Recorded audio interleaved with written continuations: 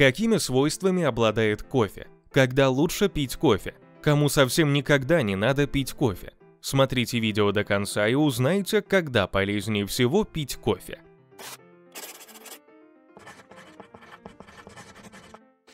Друзья, наша команда постоянно ищет новые методы и рецепты для вашего здоровья и долголетия. Каждому из нас важно чувствовать, что мы приносим пользу. На этом все держится. Поэтому просим тех, кто не подписан на канал, но смотрит его, подписаться. Не забудьте нажать на колокольчик и выбрать параметр «Все уведомления». Кофе – это любимый напиток большинства людей. Его приготавливают из измельченных плодов кофейного дерева. Пьют кофе с различными добавками, такими как молоко, сахар, сливки, корица, перец. Заваривают перемолотые зерна и варят их в турке. Употребляют растворимые гранулы. Какую же пользу приносит этот напиток? Кофе оказывает положительное воздействие на организм и обладает следующими свойствами. Кофе содержит кофеин, который стимулирует организм, повышает общий тонус и артериальное давление. Оказывает положительное воздействие на пищеварение. Способствует активации желудочных ферментов. Обладает желчегонным действием. Снимает спазмы желчного пузыря и расширяет желчные протоки. Делает желчь менее густой расширяет сосуды, что позволяет улучшать кровоснабжение тканей, повышает интенсивность метаболизма. Какие правила употребления кофе? Для того, чтобы напиток оказывал только положительное действие, следует выполнять следующее правило. Не употреблять кофе натощак, чтобы он не оказывал раздражающее действие на желудок. Не стоит пить кофе во время беременности, потому что возможно повышение тонуса матки, развитие аллергии, снижение гемоглобина.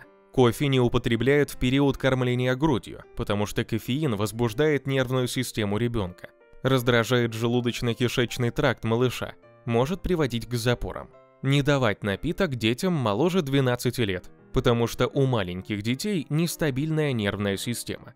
Не использовать напиток по вечерам, потому что вызывает возбуждение нервной системы, бессонницу. В какое время лучше всего пить кофе? Для того, чтобы кофе оказывал положительное действие, пить его надо в утренние часы. Но не сразу после пробуждения, а через 2-2,5 часа после того, как встали с кровати утром. Кофеин стимулирует синтез кортизола, который после пробуждения и так повышается. Поэтому длительность его воздействия, бодрость и хорошее настроение могут снизиться вместе со снижением стимулируемого кофе гормона. Если употреблять кофе через 2 часа после того, как проснулись, то концентрация кортизола в организме сохранится на высоком уровне более длительное время. А это может повысить общий тонус, улучшит возможности работы головного мозга. Оптимально полезно употреблять кофе в 10-11 часов утра. Именно в это время уже снижается уровень собственного кортизола и требуется стимулятор для поддержания гормона на должном уровне.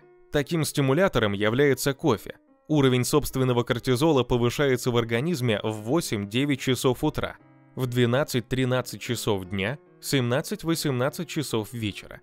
В это время лучше отказаться от употребления кофе, а пить его спустя час-два после того, как пройдет период собственного повышения гормона. Сколько кофе можно пить в день? Употреблять кофе в неограниченном количестве нельзя. За день можно выпить максимум 2-3 чашки бодрящего напитка кому не стоит вообще пить кофе. Учитывая свойства напитка, его противопоказано употреблять в следующих случаях. При стойком повышении артериального давления, симптомах сердечной недостаточности, при повышении активности работы щитовидной железы, гипертиреозе, тиреотоксикозе, если имеется заболевание вен, варикоз сосудов нижних конечностей, при различных неврологических расстройствах, неврозах. Таким образом, самым полезным временем для употребления кофе является первая половина дня, спустя 2 часа после того, как проснулись и после завтрака. Кофе следует выпивать через 30-40 минут после еды.